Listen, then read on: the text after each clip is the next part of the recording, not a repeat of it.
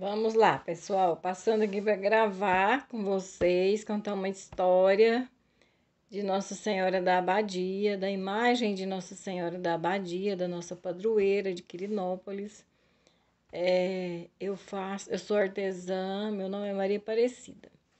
Eu faço artesanato já há um tempinho, né? Gosto de várias coisas de artesanato. Só que eu me encontrei no artesanato de arte sacra eu customizo as imagens, Nossa Senhora Aparecida, Nossa Senhora da Abadia. E aqui eu estou fazendo algumas imagens, né? Fazendo não, eu pego o gesso cru e vou passando tinta, fazendo, colocando é, brilho. Então, essa aqui é a imagem de Nossa Senhora da Abadia, a original aqui de Quirinópolis. Olha, ela é azul, rosa e creme. E eu coloco aqui no manto dela umas meia pérola, entendeu? Ela fica linda, linda, maravilhosa. Essa imagem, ela é aqui de Crinópolis, porque tem outras em Minas, por exemplo, ela é diferente. Ela tem um manto diferente. Mas são todas Nossa Senhora. E a nossa aqui é desse modelo. Nossa aqui de Quirinópolis. Então, eu vou pegar uma aqui para mim mostrando, colocando as pedrinhas e a gente vai conversando, ok? Então, tá certo. Deixa eu colocar ela aqui, pertinho, né? Dá, colocar aqui a, o celular para dar um, um, um jeito aqui para poder ver melhor. Colocando as pedrinhas. Tá certo? Então, vamos lá. Então, vamos conversar um pouco? Ah, eu quero contar para vocês a história de Nossa Senhora da Abadia aqui de Quirinópolis.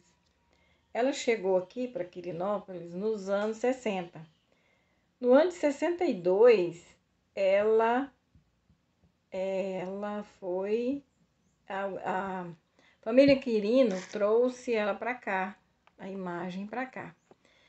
No ano de 66, ela ela foi abençoada pelo padre da época e a partir daí ela começaram-se as festas, né? As festas da padroeira. E aí foi tudo foi acontecendo. E quem quiser conhecer mais, melhor, pesquisa, porque é uma história linda, linda, linda. Eu fui pesquisar.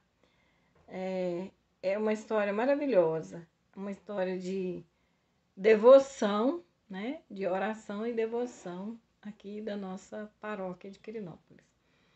Ela, essa imagem, ela veio através da, da família Quirino, porque eles tinham uma sobrinha lá na França, e aí eles conseguiram essa imagem lá. Então, a original, ela está na igreja mãe. Ela já foi reformada e hoje ela está lá, toda linda. Ela é muito bonita. Ela veio da França. E assim, a nossa história da nossa família com ela é muito linda, é muito de devoção mesmo.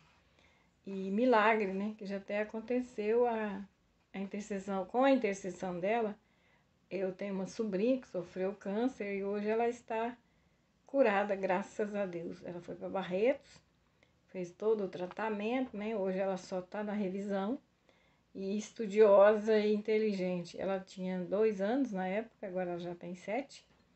E ela só está fazendo as revisões, mas ela está ótima, graças a Deus. E a nossa história aqui da, de, da nossa paróquia é que todo ano acontece a festa. É uma festa bonita, é uma festa cultural. Acontece quermesse, cavalgada, leilão, é, quadrilha, dança, comida típica. Então, uma festa linda, uma linda, linda, uma festa maravilhosa. É, a gente está parado nessa época agora por causa do, do Covid, né?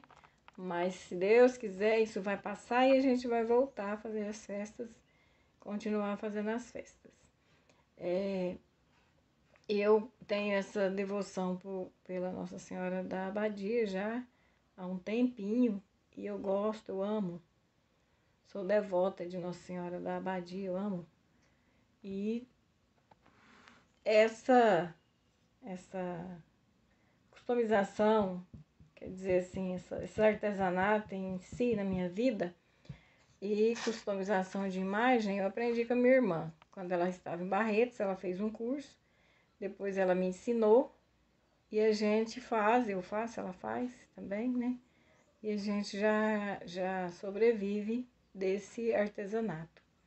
E esse ano teve, a gente teve um incentivo do governo. E foi muito maravilhoso esse incentivo, sabe? Ela, esse incentivo veio para ajudar, porque os artesãos estavam com dificuldade, né? Dificuldade de venda, dificuldade em, em comprar, né?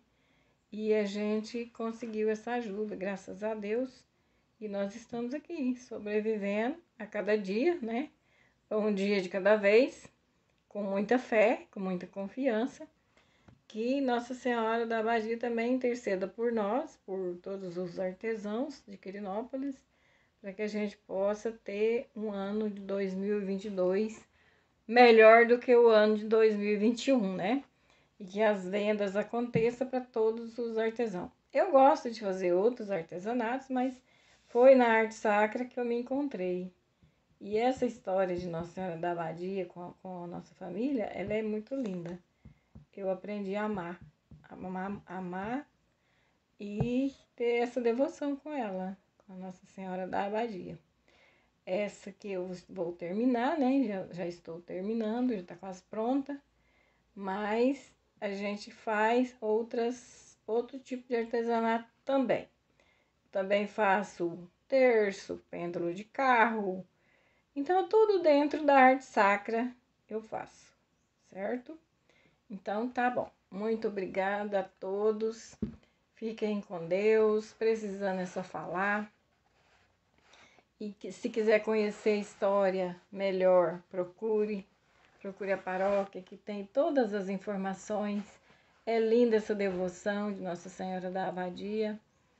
E nós também, os artesãos, temos muito apresentar. E devagar a, as pessoas vão conhecendo as artes aqui de Quirinópolis. Então eu fico por aqui. A minha arte é arte sacra e eu gosto de fazer outros tipos de artesanato, mas é nesse que eu me encontrei. Obrigada a todos e fiquem com Deus. E até a próxima, até o próximo projeto.